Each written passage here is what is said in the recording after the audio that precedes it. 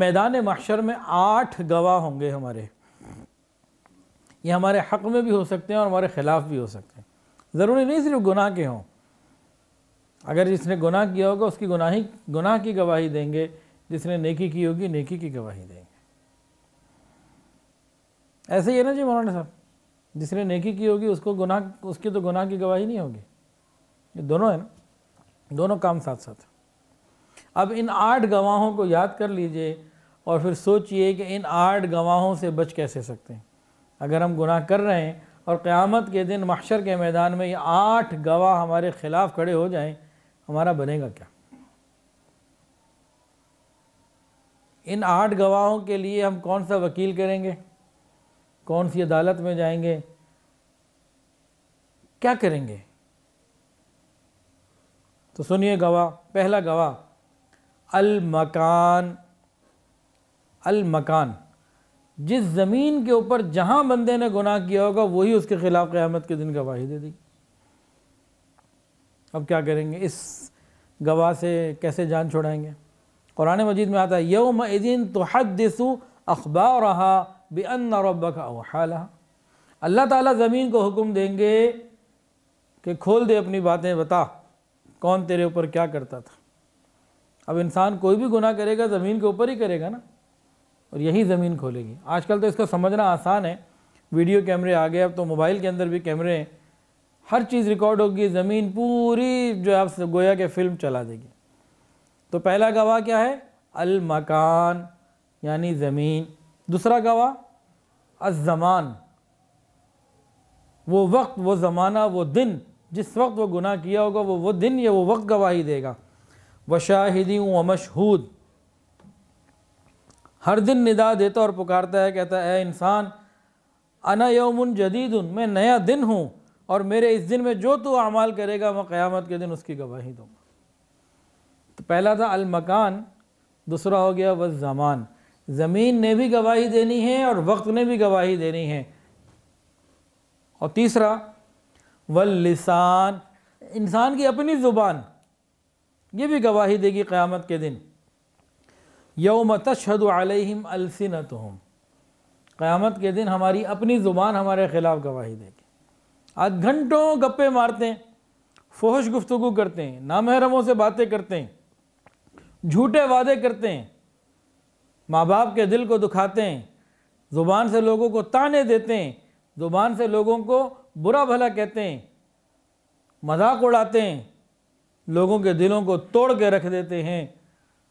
بتائیں تو صحیح جب کتنے خاوند ایسے ہیں جو اپنی بیوی کے دل کو زبان سے دکھاتے ہیں، کتنے اولاد ایسی ہے جو ماں باپ کے دلوں کو اپنی زبان سے دکھاتی ہے اب آپ بتائیے کہ قیامت کے دن جب یہی زبان ہمارے خلاف بول رہی ہوگی، زمین بھی بول رہی ہوگی، وہ وقت بھی بتا رہا ہوگا، زبان بھی بتا رہی ہوگی، بتائیں تو صحیح اتنے بڑے بڑے گواہ جب ہوں گے، آخر ہم ان گواہوں کے خلاف پھر کیا چیز لے کر آئیں گے؟ ان کا کیا توڑ ہے ہمارے پاس؟ اور اس کو بھی غور کریں، جب قیامت کے دن اللہ اپنے جلال میں ہوں گے، انبیاء تھرا رہے ہوں گے، اس وقت اللہ نے پوچھ لیا، تم نے میرے اس بندے کو ذلیل کہا تھا، تم نے اس کو جاہل کہا تھا، کمینہ کہا تھا، جواب دو، کیوں کہا تھا؟ کیا جواب دیں گے؟ ہماری زبان سے تو جھوٹ اتنا نکلتا ہے کہ شاید ہی کوئی دن ایسا گزرا ہو کہ ہم نے جھوٹ نہ بولا۔ چوتھے، والارکان، ہمارے ہاتھ پاؤں۔ ہمارے جو یہ ہاتھ پاؤں اعضاء جب آ رہے ہیں، یہ گواہی دیں گے۔ تو کل لمنا لیمنا ایدیہم وتشہد ارجلہم بما کانوا یکسبون۔ ہاتھ بھی گواہی دے گا، ران بھی گواہی دے گی کہ کیا کیا کرتوت کیے تھے۔ انسان پریشان ہو کے کہے گا لما شہید تم علینا؟ تم نے کیوں ہمارے خلاف بات کی؟ اس زبان اللہ نے جس نے بولنے کی سب کو طاقت دی، ہمیں بھی دی، ہم نے بول دیا۔ انسان حیران پریشان ہوگا کہ تمہارے لیے تو سب کچھ کیا تھا کہ تمہارے مزے ہوں۔ لیکن یہی ہاتھ بھی ہمارے گواہی دیں، رانے بھی ہماری گواہی دیں، بتائے تو صحیح ہم جائیں گے کدھر۔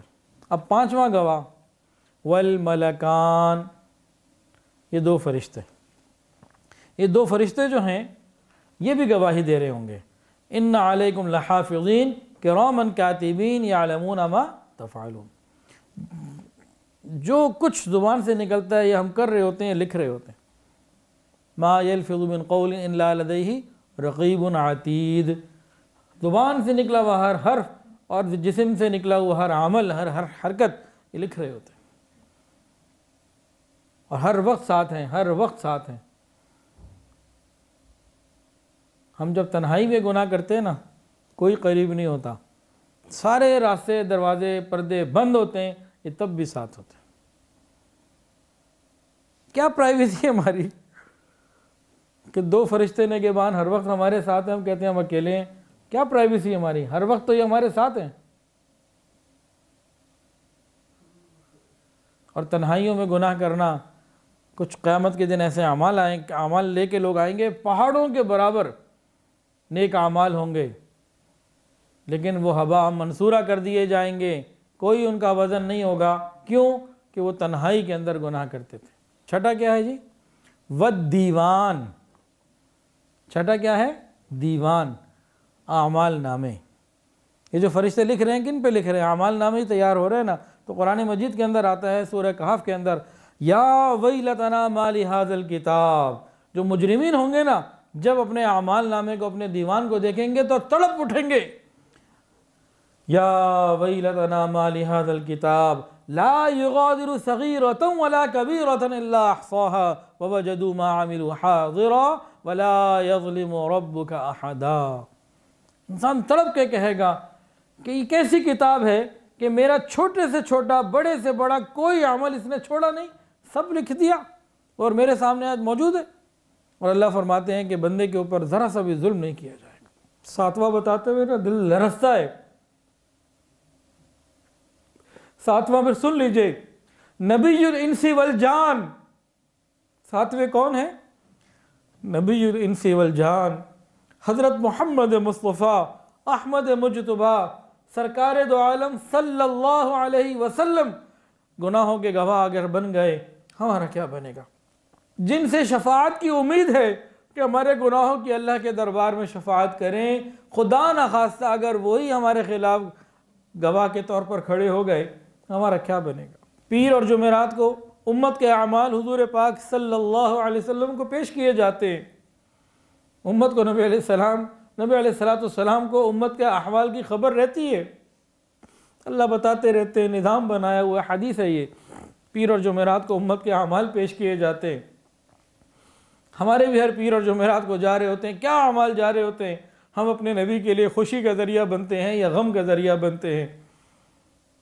ایک مرتبہ ایک بیان میں یہی حدیث بیان کی، اس کے بعد ایک خاتون کا فون آیا، کہنے لگیں، حضرت کیا یہ بات صحیح ہے کہ رسول اللہ صلی اللہ علیہ وسلم کو اعمال بتائے جاتے ہیں ہمارے؟ نے کہا، حدیث پہ تو یہی بات لکھی ہے۔ کہنے لگے اچھا پھر میں آپ سے وعدہ کرتی ہوں، ارادہ کرتی ہوں، انشاءاللہ آج کے بعد میں گناہ نہیں کروں۔ کہ میری وجہ سے نبی علیہ السلام کو تکلیف پہنچے، یہ مجھے برداشت نہیں ہے۔ اور اچھی بیٹیاں ایسی ہوتی ہیں کہ اپنے ماں باپ کو تکلیف نہیں پہنچنے دیتی۔ ہم کیسے امتی ہیں؟ آپ کے غم کو، دلوں کو دل کو کتنا غم پہنچتا ہوگا کہ میرا وہ امتی ہے، اس نے میری رات کے رونے یاد نہیں رکھے۔ اس نے میری دعاؤں کی لاج نہیں رکھی۔ مجھے اللہ نے عرش پہ بلایا تو میں نے اس کے لیے مانگا۔ دنیا میں اس کے لیے مانگا، عرفات میں اس کے لیے مانگا، حتیٰ کہ جب دنیا سے جانے کا وقت آیا، اللہ سے ملاقات بعد میں قبول کی، پہلے اپنی امت کے بارے میں اللہ سے بات کی۔ حضور پاک صلی اللہ علیہ وسلم کھانا کھاتے کھاتے اچانک امت یاد آ جاتی، کھانا کھانا بھول جاتے، امت کے لیے دعاؤں میں لگ جاتے۔ ہمیں کبھی اس بات کا خیال پیدا ہوا کہ ہمارے اعمال نامے نبی علیہ السلام کو پیش کیے جاتے۔ حضرت مولانا شیخ عبد القادر جیلانی رحمۃ اللہ علیہ کے حالات زندگی میں لکھا ہے کہ ایک دن وہ اللہ سے مانگتے رہے، یا اللہ میری خطاؤں کو معاف فرما، یا اللہ میری خطاؤں کو معاف فرما، یا اللہ میری خطاؤں کو معاف فرما۔ مانگتے رہے مانگتے رہے، خوب مانگتے رہے۔ اور بالآخر یوں انہوں نے کہا، یا اللہ، اگر آپ کا یہ فیصلہ ہے کہ مجھے معاف نہیں کرنا، تو اللہ قیامت کے دن مجھے اندھا کھڑا کر دینا تاکہ تیرے محبوب کے سامنے مجھے شرمندگی نہ ہو۔ اور آٹھواں الرحمن اللہ رب العزت خود ہوں گے۔ وہ تو ہمارے دل کی پوشیدہ باتوں سے واقف ہیں۔ یعلم خائنت الاعین وما تخفی الصدور۔ آنکھوں کی خیانت کو بھی جانتے ہیں۔ اور جو دلوں میں چھپی ہوئی چیزیں ہیں، وہ بھی جانتے ہیں۔ وہاں کیا بنے گا؟